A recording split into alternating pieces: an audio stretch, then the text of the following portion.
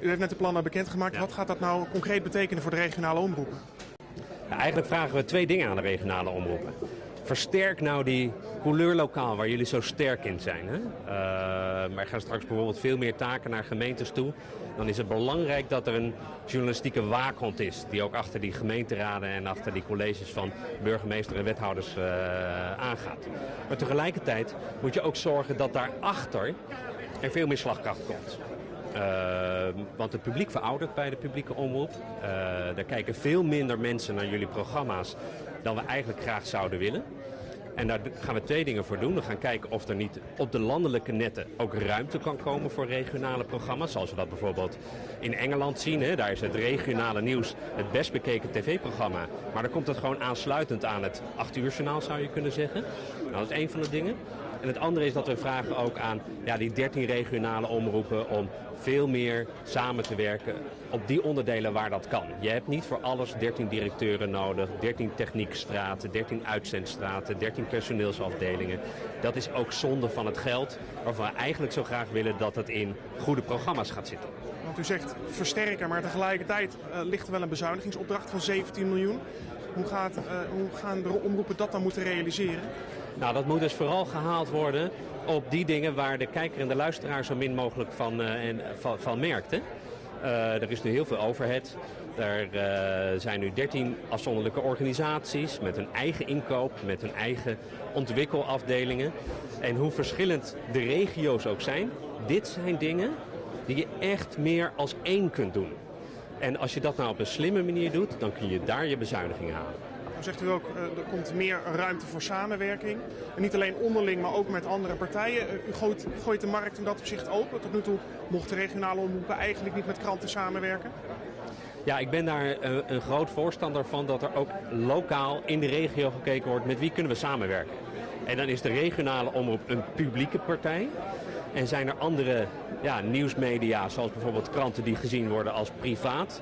En toch zou het ons er niet van moeten weerhouden dat je kijkt of die samen uh, veel meer kunnen optrekken in wat we dan noemen publiek-private samenwerking. Dat is soms lastig, je moet ook aan regels voldoen, begrijp ik ook. Europa ziet er ook zeer op toe dat dat op een nette manier gebeurt. Maar we willen echt kijken of we dat een boost kunnen geven.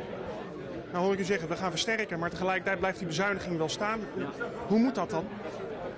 Nou, er wordt in de regio niet meer bezuinigd dan bijvoorbeeld ook op het landelijk uh, uh, bestel. En kijk, wij hebben in Nederland natuurlijk een hele moeilijke financiële tijd achter de rug. Dan mag je ook aan alle partijen vragen, dus ook aan de regionale publieke omroep, om daar een steentje aan bij te dragen. Maar wat belangrijk is, is dat we de focus houden op goede lokale programma's. Dat is wat de kijker en de luisteraar onmiddellijk ziet. En dat we die bezuinigingen zoveel mogelijk weten te halen door aan de achterkant veel meer samen te werken op onderdelen waarop dat kan. Nog even concreet over wat we dan gaan zien op de landelijke netten van de regionale omroep. U zegt achter het journaal aan, is dat het concrete plan? Bijvoorbeeld na het 8 uur journaal dat er nog 10 minuten regionaal nieuws komt? Nou, we hebben dat niet zo concreet ingevuld, maar we hebben wel gezegd het is goed als de landelijke publieke omroep wat inschikt en wat ruimte maakt op zijn netten. Om ook met wat we dan noemen vensters te kijken of je niet af en toe als regionale omroep kunt inprikken. He, dat als je dan in Noord-Holland woont en je hebt het 8 uur journaal gezien, dat je daarvoor of daarna ook het regionale journaal bijvoorbeeld kunt meekrijgen. Want nu zitten jullie een beetje verstopt op, ik geloof, ja, 509 of ja, heel ver precies, weg. Hè? Heel ver weg. Nou, dat werkt natuurlijk ook niet mee. Daardoor zijn er heel veel mensen die jullie mooie programma's niet zien. We zouden dat een veel prominentere plek kunnen geven op die, uh, op die manier. Wanneer gaan we dat dan zien?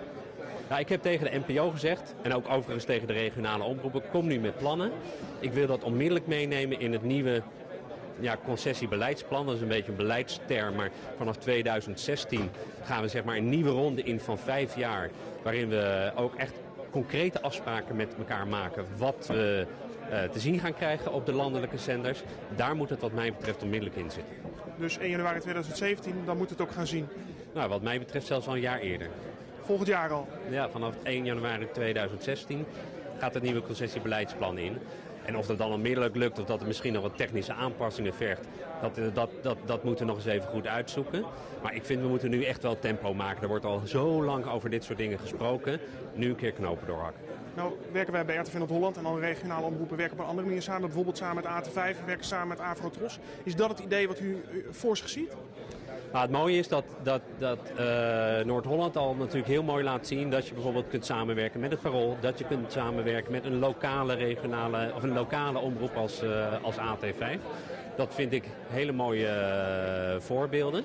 Maar het mag in mijn ogen nog meer en ook nog wat groter. Ik vind nu als de landelijke publieke omroep, de NPO, afspraken moet maken met de regionale omroepen, ja, dan is het altijd wachten totdat de laatste directeur, de dertiende, ook een keer ja heeft gezegd.